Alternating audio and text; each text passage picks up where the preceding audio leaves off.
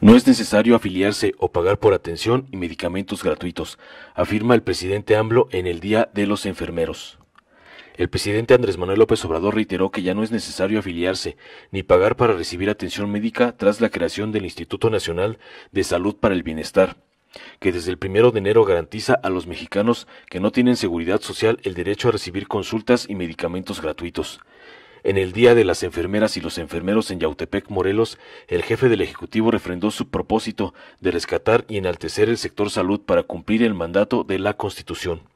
Indicó que mejorar la atención implicará tiempo y esfuerzo, por lo que pidió a todos los trabajadores del sector salud velar por los recursos, combatir la corrupción y denunciar actos ilícitos como el robo de medicamentos. Recordó que además de contar con medicinas y materiales de curación suficientes, el gobierno de la Cuarta Transformación intensificará su labor para dotar los centros de salud con médicos, especialistas y enfermeros.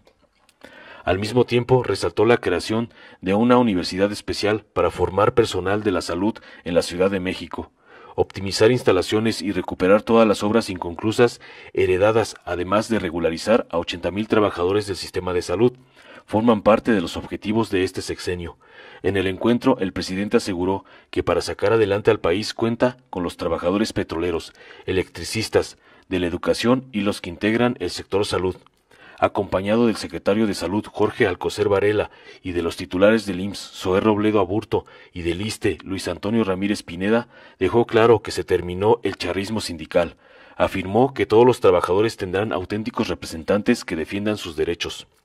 El mandatario entregó premios al mérito de enfermería por parte del ISTE al cuidado de la persona a Teresa Crescencio Corona Asensio de la Clínica de Medicina Familiar con especialidades y quirófano de Mérida, Yucatán, y a Daniel Sempoala Márquez del Hospital General de Tlaxcala. A la gestión de enfermería a Eva Guadalupe de Jesús León Allende del Hospital General Regional Ignacio Zaragoza y a Diana Elena Escobedo Camacho de la Subdelegación Médica Nuevo León. También premió a Laura Hernández Amaya de la Subdelegación Médica Zona Sur en la Ciudad de México y a Epifanía González Baza de la Subdelegación Médica Morelos. A la Educación del Recurso Humano a Gabriela Ruelas Peralta del Hospital Regional de Zapopan, Jalisco y a Norma Elba Sáenz Soto de la Unidad de Profesionalización y Escuela Nacional de Enfermería al desarrollo de la investigación a Juana Graciela Luna Camargo de la Clínica de Medicina Familiar de León, Guanajuato del Consejo de Salubridad General, el reconocimiento de Enfermería María Suárez Vázquez fue para María Guadalupe Báez Martínez, el de Enfermería María Guadalupe Cerizola Salcido se dio a María Cristina Mugenburg Rodríguez Vigil y el de Mérito de Enfermería Graciela Arroyo de Cordero a María Guadalupe Ojeda Vargas. Informó Mister Político, nos vemos en el siguiente video.